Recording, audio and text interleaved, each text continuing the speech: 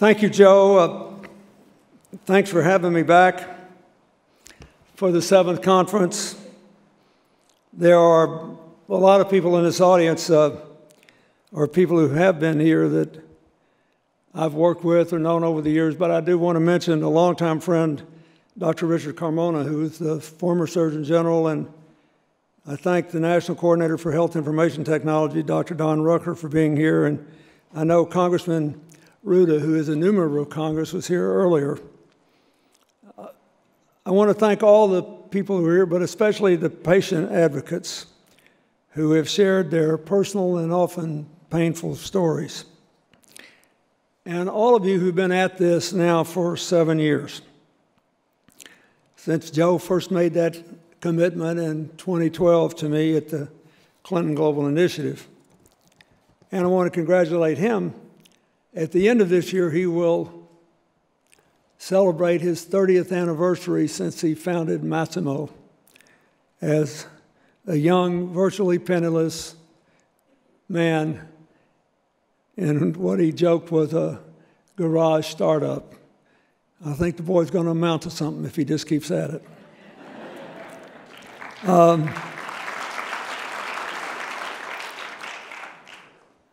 I love coming here. It's one of the great privileges of my year, and I look forward to it every year. But it's sort of ironic. I love talking to people who know more about the subject than I do. It seems kind of weird, but I like it.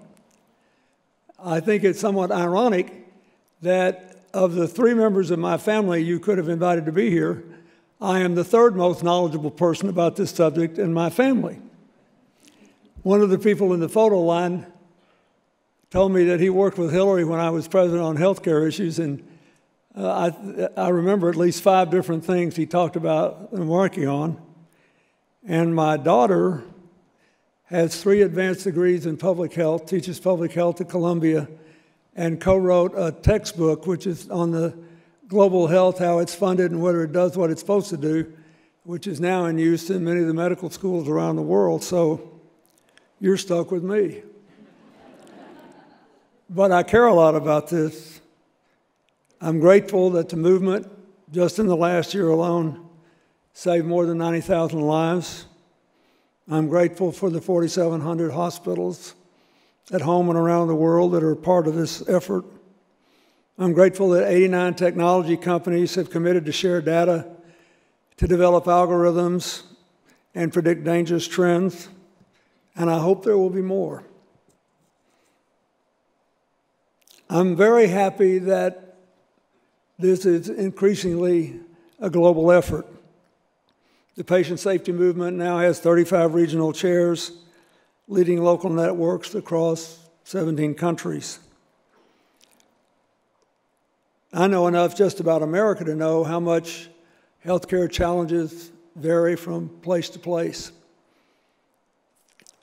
Not very far from here in the Coachella Valley, I started the first Health Matters initiative, and it was a very interesting laboratory because the area is very diverse. It has a one big, good hospital. It is represented in Congress by a medical doctor who's a Hispanic American who went to Harvard Medical School, grew up in a poor family, and went home to practice medicine. And it has the richest and the poorest Californians in the same area. So I learned a lot in the years that we worked with them. They aged out of the project. We, after five years, we think we've done all we can. But I learned how different the challenges were. And uh, we've gone to work in Little Rock, my hometown, and in Houston, and in Jacksonville, and in rural Mississippi and other places. And it was amazing when we went to Jacksonville, which had some really great projects. But one of the things they asked us to figure out was what they could do about pedestrian deaths. And it turned out that they had the second or third highest pedestrian death rate of any urban county in America. And when I went there and started looking at it, we figured out why because it's a city county government, and it's not clear when you leave the city limits, and then all of a sudden you're in the country, and anybody that's on foot is in danger because people don't expect people to be out there where they think they can be driving 55 or 60 miles an hour. Anyway, you can multiply that many-fold by the variety of conditions that exist and challenges. So I think this is a really, really good thing. I, uh, I'm going to keep my talk fairly short because Joe always has interesting questions. And I find that when you're answering questions, even if people don't agree with you, at least you're talking about something they're interested in. But I think it's important before I do that to do what I can do as a layperson who's cared about this issue for well over two decades. It is really important that you continue to do this. The rate of increase in saving lives has slowed down some this year from last year.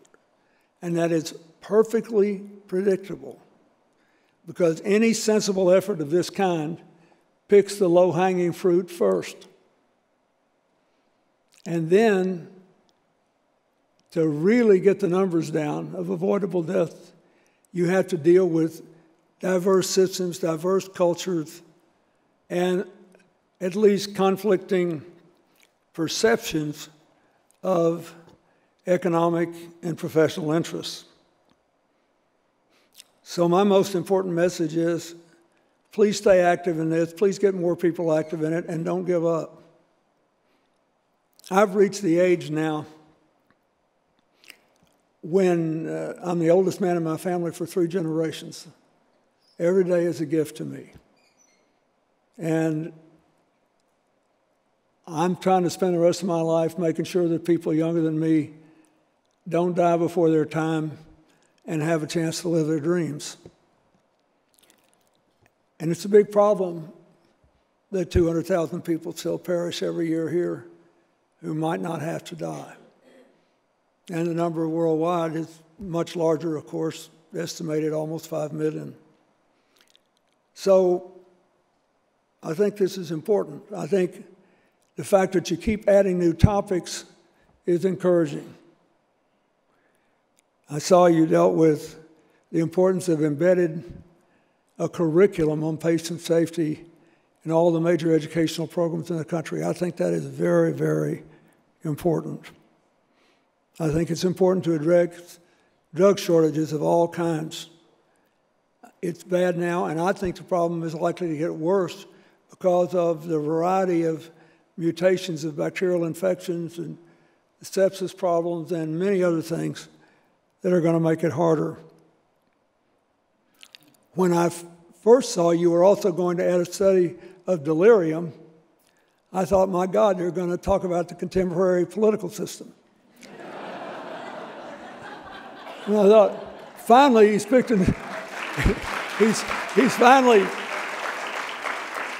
Finally, there's a subject I'm an expert on. but when I read it and I realized the differences that I can tell as a visitor to hospitals, to people's reaction to severe surgeries, for example, by age, and other variations. I think it's really, really important. Near the end of my second term in 1999, well, no, earlier than that, at the end of my first term, I established the Commission on Consumer Protection and Quality Care that produced a really landmark report for the time on patient safety.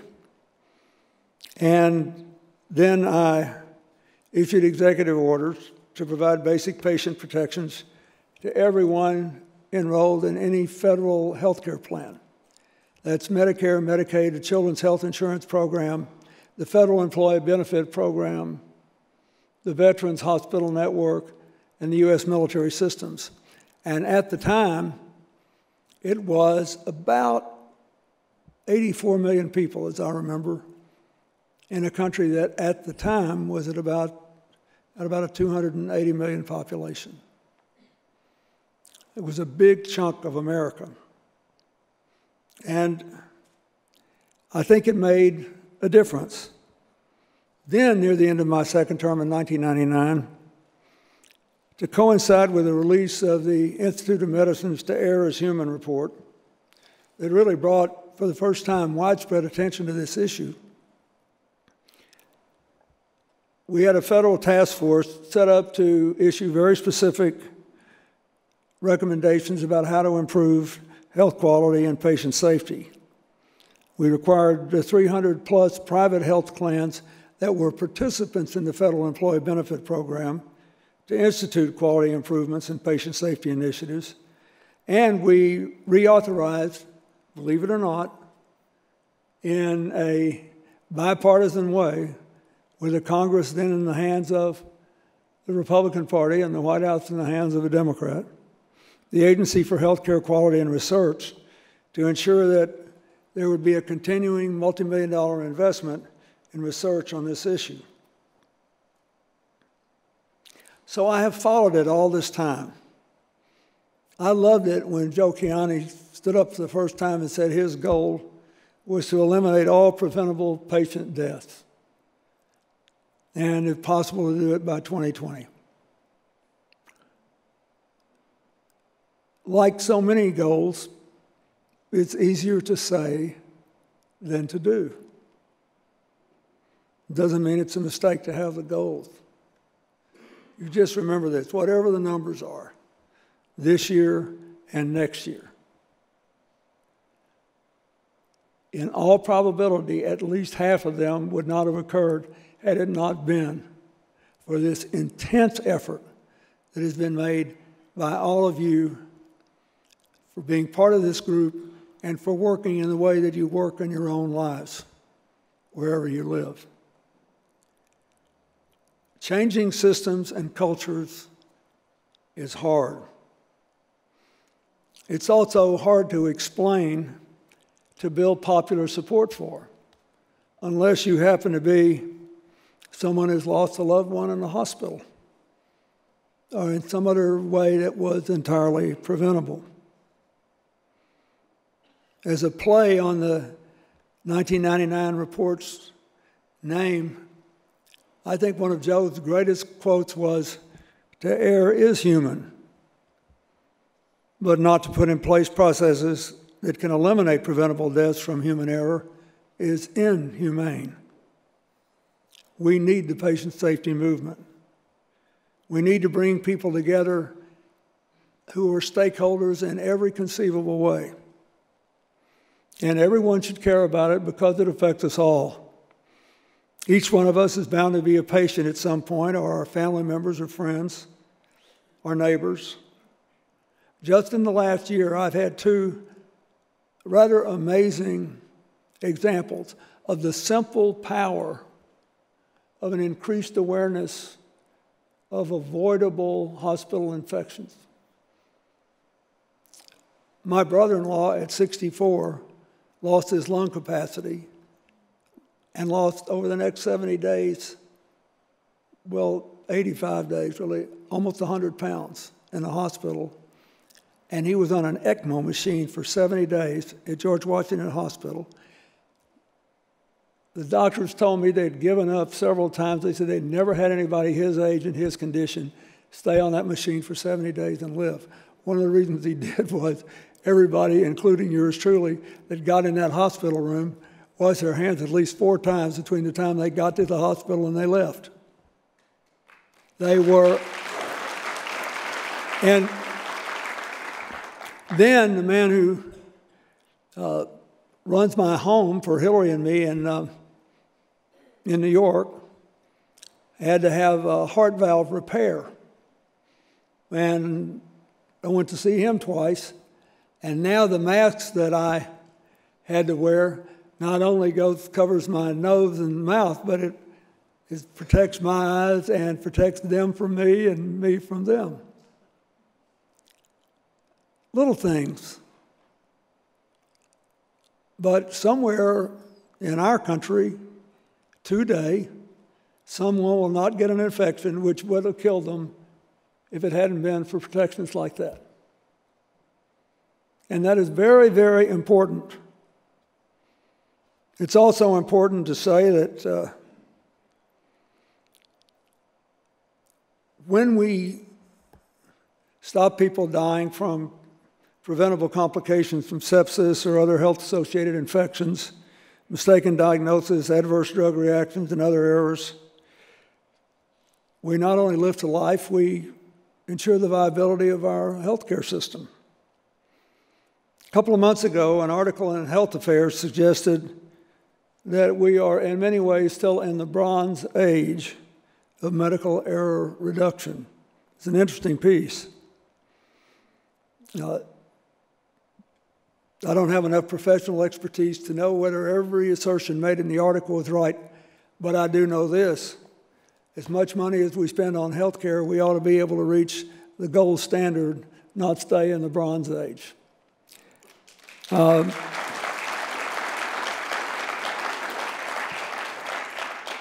and again, I want to say, I want to thank the patient advocates who are here.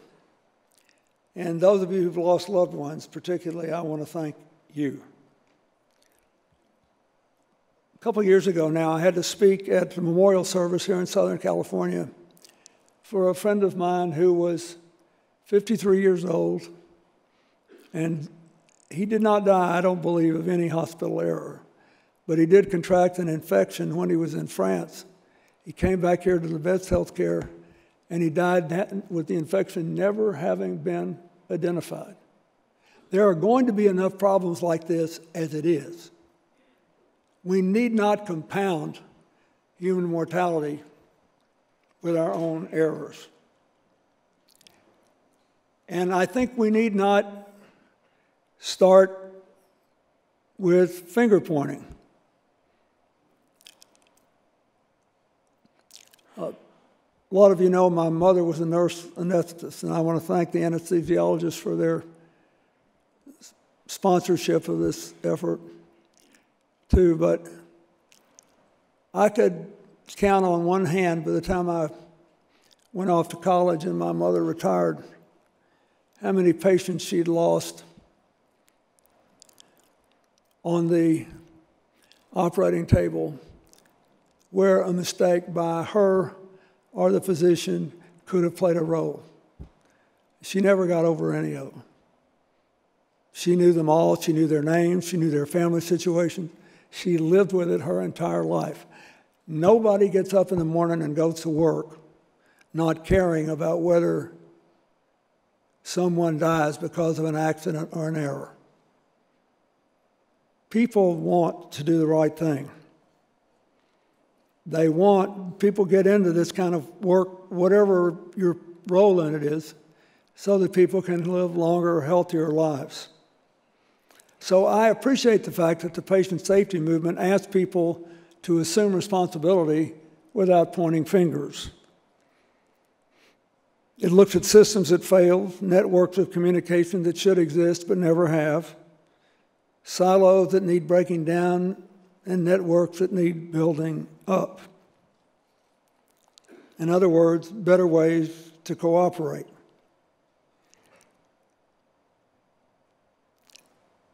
This is, again, easier to say than to do. I'm well aware of the concerns that are often cited as barriers the cost of high tech systems for hospitals, proprietary interests, liability, privacy issues the ability to finance innovative research in the pharmaceutical industry, providing medicines in adequate volume at affordable prices. But the only reasonable way we're going to be able to deal with this consistently over time is to have both a legal framework which incentivizes good behavior and disincentivizes bad, but to recognize that denial and neglect is not an answer, that avoidance is not an answer, that you have to bring in all the stakeholders and we have to find a way to work together.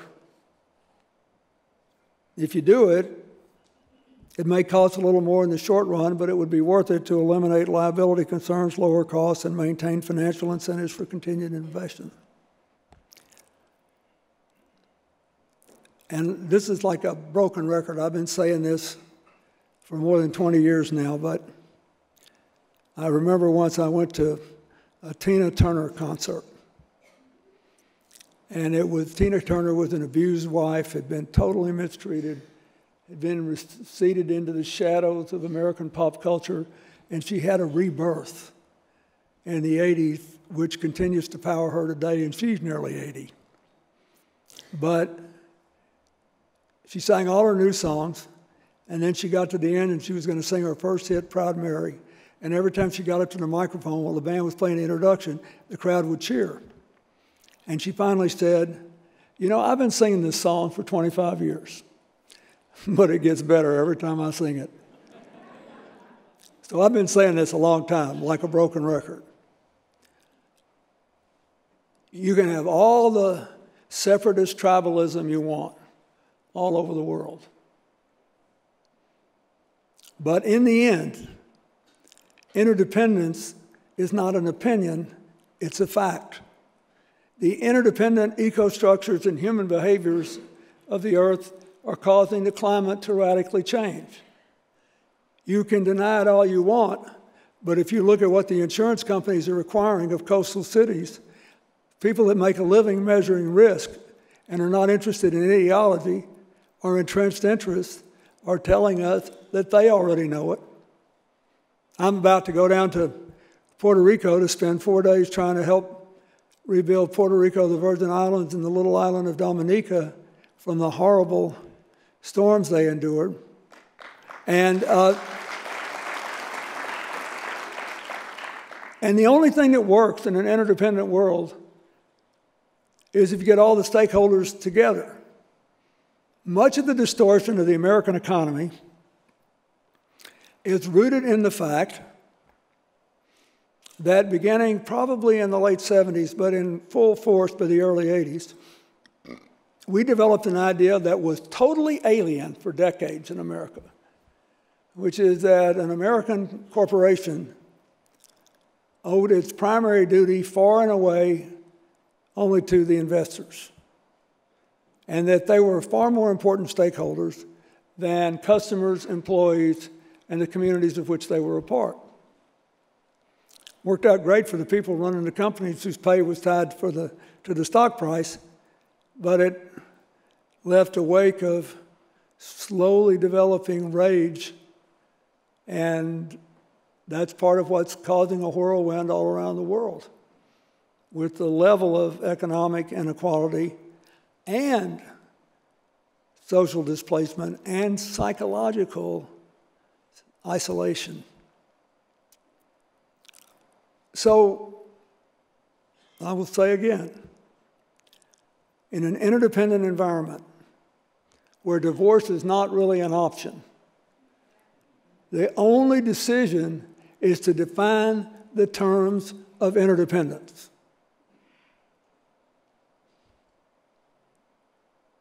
Look at all this Brexit problem. Even if they'd passed the Prime Minister May's plan, they weren't really getting a divorce, they were redefining the terms of their interdependence. And so you just have to decide. But for me, if you're stuck in interdependence, it's much better if everybody's rowing together. I think, notwithstanding the momentary political, emotional, and psychological rewards that came from the successful expression of resentment or whatever, addition is still better than subtraction. And multiplication is still a hell of a lot better than division.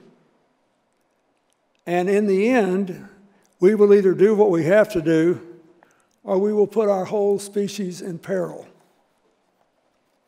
So, I believe that even though it's going to be difficult for you to explain most of this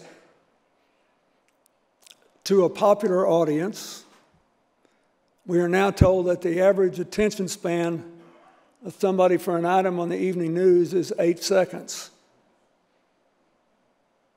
Butterfly limit is nine seconds.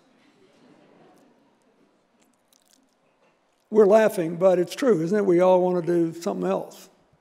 I love the TiVo program so I don't have to watch the ads. I mean, just anything to speed it up, whatever it is, just speed it up. Sometimes we need to slow down, take a deep breath, and analyze. What's the problem? What are the constituent parts? Who can fix what? What are we going to do in what order? You know, that's hard work, and hard work is boring. If you think that contests should be entertaining, a lot of the Romans like to go to the Colosseum and watch people enter, eaten by lions. It was only entertaining unless you were one of the people being eaten by the lion.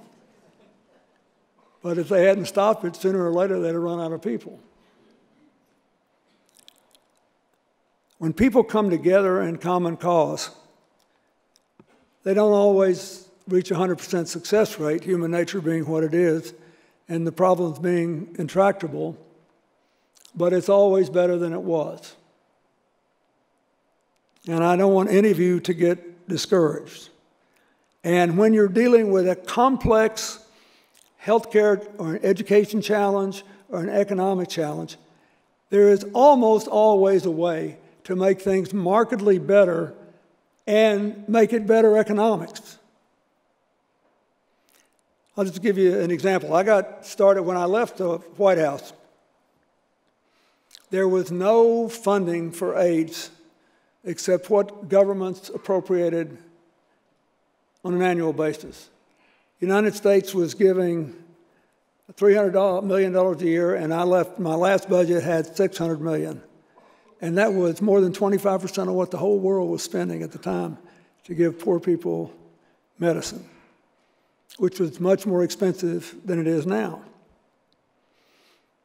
And since there was no money, Nelson Mandela and I agreed to co chair this group of former heads of state who freed from the bonds of politics and go around and tell everybody else what's good for them. But we did it, and we rattled a tin cup and we raised some money. But I thought there's got to be a better way. So I went to five different countries, beginning with Ireland and Canada, and got them to promise me that they would allocate 20 million more dollars a year to provide AIDS medication and care in countries they could choose and that I didn't want any of the money. I just wanted them to let me turn on or off the tap. And then I went to countries that wanted it, and I got them to sign a no corruption pledge. And then I went to the manufacturers of the generic medicine, most of whom were in India, with constituent elements in the medicine, mostly coming from China. And I said, Look, you're charging $500 a year. We're paying $10,000 a year at my AIDS clinic in Harlem, just around the corner from my office. But so 500 sounds like a little bit of money, but I said, if you live in a country with a per capita income of less than a dollar a day and a heavy AIDS population and no real revenue base for your government, it's not very much money. Um, I mean, it's, not, it's, it's a lot of money and there's not very much capacity to pay for it. So I said, I would like you to consider changing your business model. These guys looked at it and I said, said, what do you mean? I said, you're charging 500 bucks. I said, how much does an extra pill cost you? I said, what if you could sell 10 times, 20 times, 50 times as many medications? How much would you sell them for? I said, you're running this like a small town jewelry store a global health epidemic. You know, I used to buy my mother little Mother's Day presents when I was a little boy, and uh, family that owned the jewelry store always had stuff kids could buy. It cost a buck or two, take home to their mothers. But I looked around in the jewelry store, and they always had more watches than they could ever sell, more bracelets than they could ever sell, diamonds. What do you do if somebody returns the engagement ring? You know, think about it. You have to have a big inventory, so you have to have a big markup because you're a small independent business person. And people start defaulting on the payments and you're not in very good shape. I said, that's why you're running this. Because the payment business is so uncertain, the supply chain is not very efficient. Even some of your manufacturing processes could be better. Suppose we had a good supply chain and you had automatic prompt payment and you increased your volume, then you should run it like a big grocery store, a big food store, you have huge volume and low per unit profit margins. So we started and we went from 500 to $190 to $160 and got it all the way down to $90. The children's age drug started at $600 with fewer elements because the volume was smaller. We got it all the way down to $60. And I gave them my word, and at the time I had done a lot of work in India. They took it. I said, I promise you, if you don't make more money, I'll change the contract. You have to make money because it's not sustainable otherwise. Then comes the Global Fund and PEPFAR. And one of the funny stories of my breakthrough in my relationships with the Bush family, which became legendary with the passage of President George H.W. Bush, we were all going to the Pope's funeral, both the Bushes and me. And uh, the younger President Bush said, Tell me what you're doing with AIDS. So I told him. And he just passed PEPFAR. And he said, Well, my guy tell me this generic medicine doesn't work. I said, Oh, yeah, it does. I said, their most extreme uh, claim was that it's only 60% as effective. But since their drugs are more than 10 times more expensive than ours, we'll still save more lives if we do it my way. I said, I'll make you a deal. I will take every drug we sell, put in any human body anywhere in the world, and give it to the American FDA. If they approve it, Will you? I said, I don't want any money. I never take any American government money. I said, if they approve it, will you say to these countries it's okay with you if they buy the medicine? He said, You got a deal. Immediately, the FDA approved 22 of the 24 drugs. So then we were off to the races. Now, now, today, there are 20 something million people on antiretrovirals in developing countries, up from 200,000 in 2002 when we started to 20 million. And a significant majority of those people are alive on contracts negotiated by the Clinton Health Access Initiative.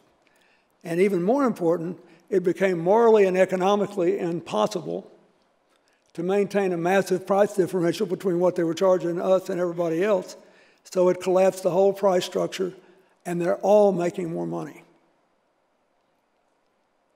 And there's got to be a way to do that. Joe and I were talking before we came up here about this shortage of insulin we have in America at a time when the life expectancy of people in middle America is still dropping because of the combination of opioids,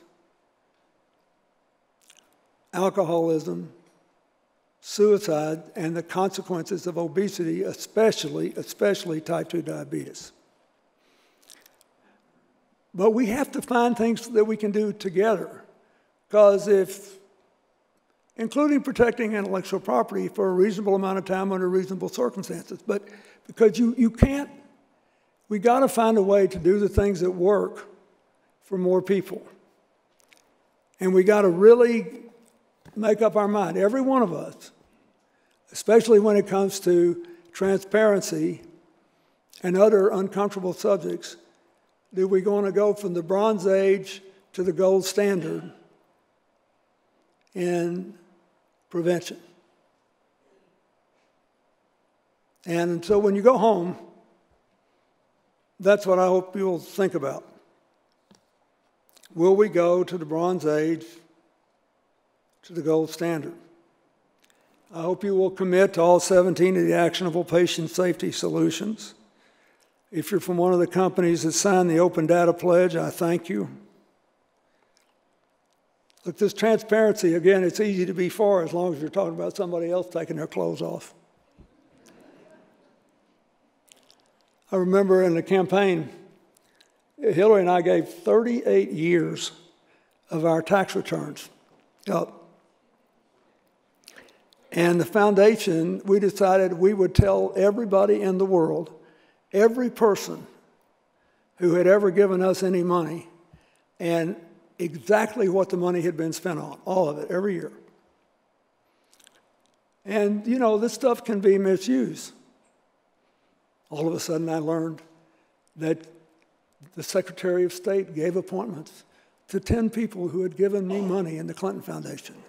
Obviously, a terrible thing. Two of them were Nobel Prize winners. They won the Nobel Peace Prize. And all the others are people that any Secretary of State of either party, at least so far, would have seen for good and sufficient reasons. So if you're transparent, you can get whacked. But somebody's got to take and fly and leap if you want to reach the larger goal. So that's my pitch. I know it's hard work to change systems, but I know if you do it, it is the most rewarding thing in the world.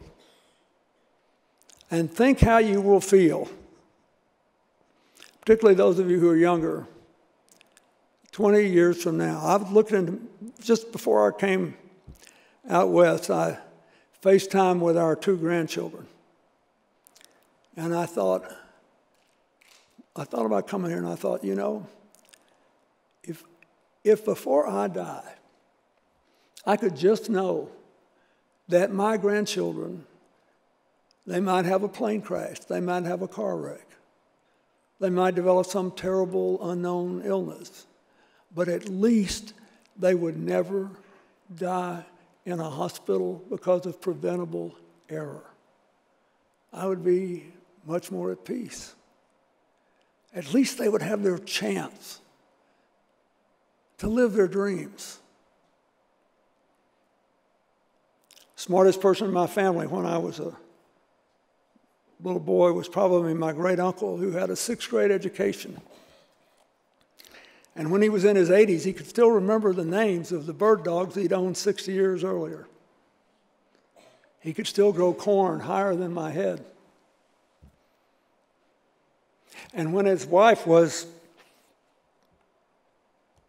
forced out of their home because of her Alzheimer's, for several months, she knew who she was for 15 minutes a day.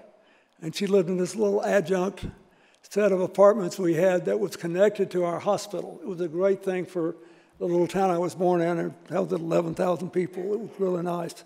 And she would call him and say, We've been married 56 years, and you've left me over here in this dump. i never seen this place before. Get over here and take me home. My uncle, by the way, had had a lung removed in the 1970s and was one of the 15% of the people that survived lung cancer back then. So every day he would get in the car and he would drive to see her. And every day for two months, by the time he got there, she didn't know him anymore. But he did it. My uncle was so smart. One day, when all this was going on, I was a young governor. I went to see him, and it got dark, and I said, uh, "Buddy, I got to home, go home. I got to take Chelsea to school in the morning, and I got some work to do tonight." And he walked me to the door, and usually we were just joking, and he was telling me jokes and telling me stories and filling me in on the latest gossip in this little town where I was born. And he grabbed me by the arm, and I turned around. The only time in my life, he lived to be 91 years old, the only time I ever saw him cry. He had big tears in his eyes.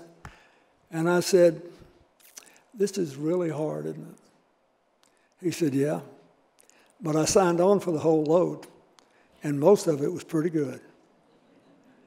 It was the best statement of love I ever heard, but also the best statement of being able to accept the rhythms of life. It's passing quick enough as it is. We shouldn't get in our own way any more than we absolutely can avoid. And there's still a lot that we can avoid. Thank you.